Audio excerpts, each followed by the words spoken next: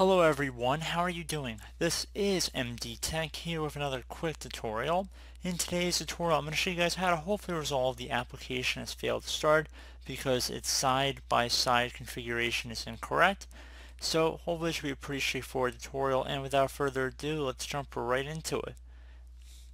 So we are going to start by opening up the start menu just by left clicking on the start button one time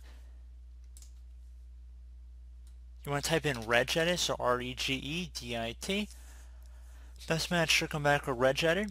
You want to right click on that and then left click on run as administrator.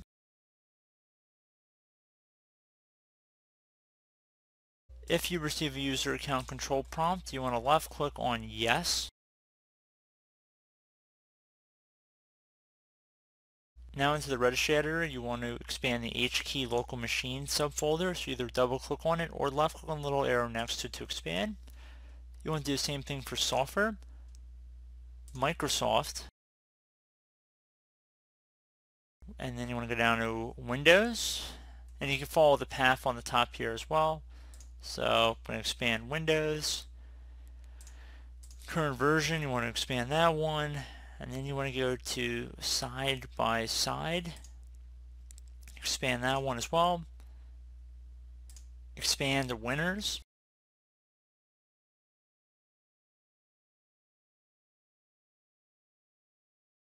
And now you want to look for something that has an x86 in front. So we're going to have to scroll down a little ways. So x86 underscore policy it's going to be the first part of the name we're looking for.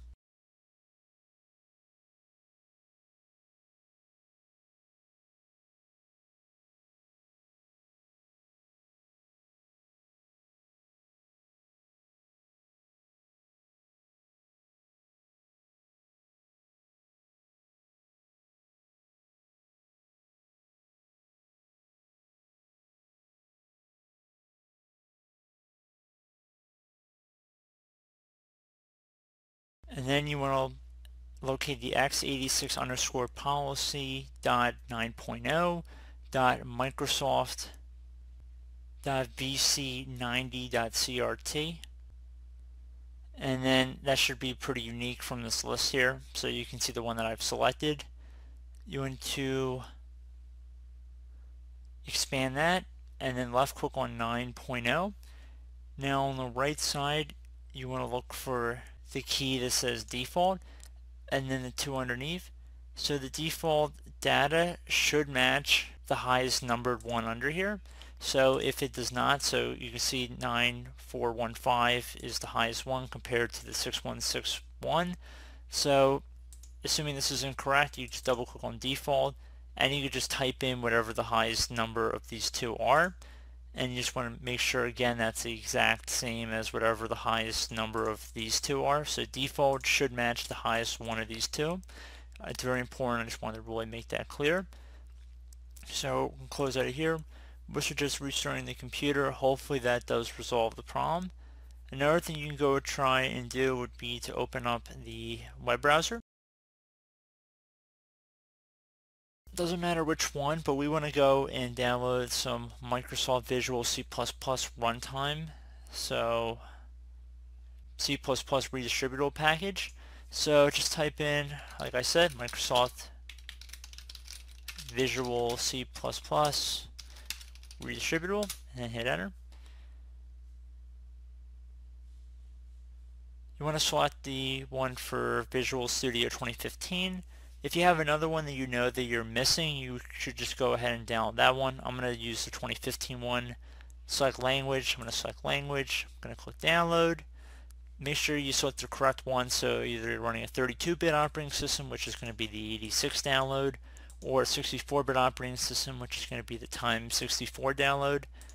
And then you just want to left click on next. Should begin the download process. It might take a moment. It's about 13 megabytes, at least the 2015 redistributable, which they're still currently updating. So if you're in Windows Update or whatnot, it might show 2017. That just means they've been putting updates on top of the 15 version. So once it's done downloading, I'm just going to left click on it one time to run it. You can minimize out your web browser. Once you look through the end user license agreement, check mark in this box and then install. If you receive a user account control prompt, left click on yes. Pretty self-explanatory from this point forward. Should say setup successful, click on close. Again, suggest restarting your computer and hopefully your issue has been resolved. So as always, thank you guys for watching this brief tutorial. Do I was able to help you out and I do look forward to catching you all in the next tutorial. Goodbye.